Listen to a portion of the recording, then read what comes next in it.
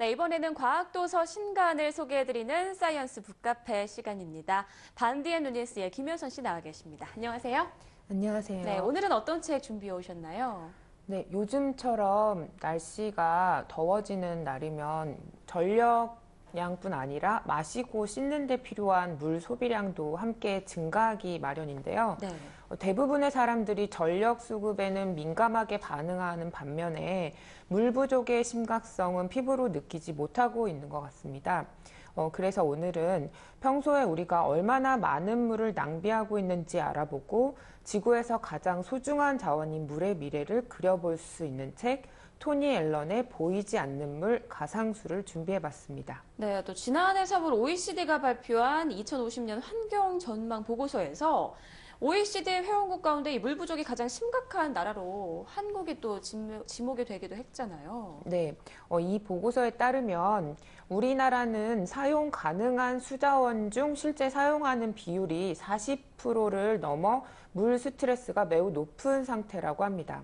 하지만 이에 대한 대중의 관심은 여전히 부족한 상황이고요. 네. 보이지 않는 물 가상수 이 책이 물 부족 문제를 좀 실감하는데 큰 도움이 되지 않을까 싶은데 어떤가요? 네, 이 책의 저자인 토니 앨런은 물 문제에 관한 세계적인 권위자이자 지속 가능한 물 개발 분야의 선구자인데요.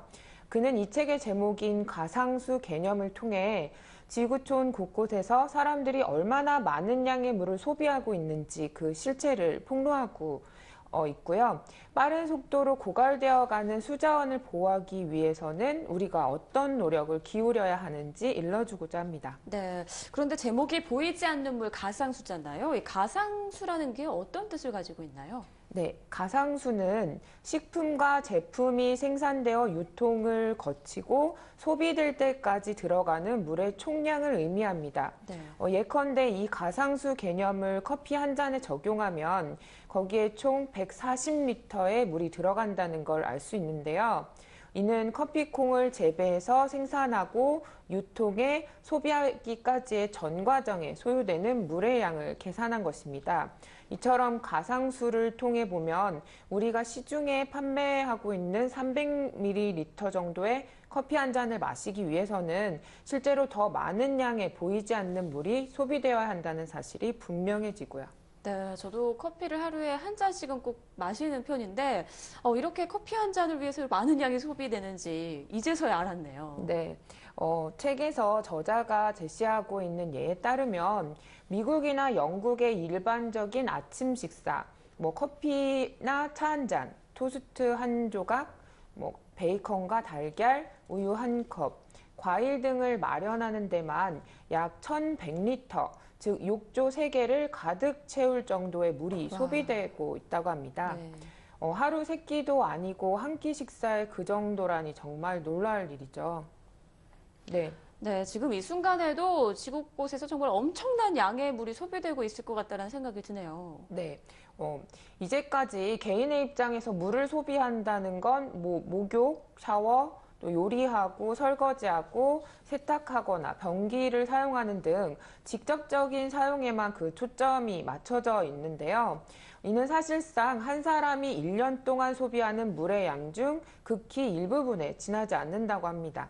우리가 소비하는 물의 대부분인 80%는 식량 및 식품 생산에 사용된다고 하고요. 네, 식량 및 식품 생산이라면 뭐 곡물 재배나 가축 사육 등에 소비되는 그런 물을 말하는 건가요? 네, 그렇습니다.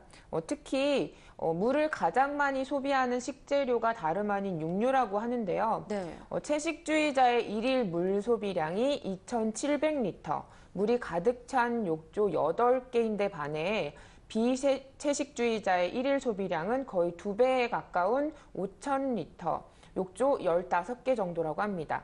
어, 그 중에서도 자연 방목을 통해 풀을 먹이고 생산한 고기보다 곡물을 먹여 가축 사육장에서 생산한 고기가 더 많은 물을 소비한다고 하고요. 네, 그렇군요. 이 물절약을 위해서 식습관을 좀 바꾸는 게 좋을 것 같다 이런 느낌이 드네요. 네, 뭐 채식이 가장 좋겠지만 네. 어, 완전한 채식이 어렵다면 풀밭에서 기른 고기를 먹는 것이 더 낫고 더 나아가 점차적으로 고기 소비를 줄여나가는 게 물 환경에 도움이 될 텐데요. 어, 이와 함께 저자가 강조하고 있는 것은 그렇게 많은 물을 소비하며 생산된 음식이 낭비되지 않도록 주의하는 일입니다. 네. 대형 냉장고 안에 이런저런 음식을 넣어놓고 어, 유통기한이 지나 버리는 경우가 허다하니까요. 맞아요. 이제 먹지도 않고 그냥 쓰레기로 가는 경우가 굉장히 많죠. 그런데 이 개인뿐만 아니라 사회나 국가적인 차원에서의 어떤 대책도 좀 필요할 것 같아요. 네, 어, 앞서 말씀드린 것처럼 인간이 사용하는 물의 80%가 식량 생산에 사용되고 있기 때문에 이 물을 직접적으로 절약하면서 생산성을 높일 수 있도록 곡물 가격을 조정해 농부들이 보다 안정적으로 농사를 지을 수 있도록 해야 하고요. 네. 어, 같은 맥락에서 값싼 수입 식량들이 개별 국가의 내부 경제를 압박하지 않도록 공정한 국제 무역이 이루어지도록 환경을 조성하는 일도 필요합니다. 네. 가상수. 앞으로 더 많은 사람들이 이 가상수에 대한 이해를 통해서 지속 가능한 인류의 미래를 좀 함께 생각해 봐야 할 때인 것 같습니다.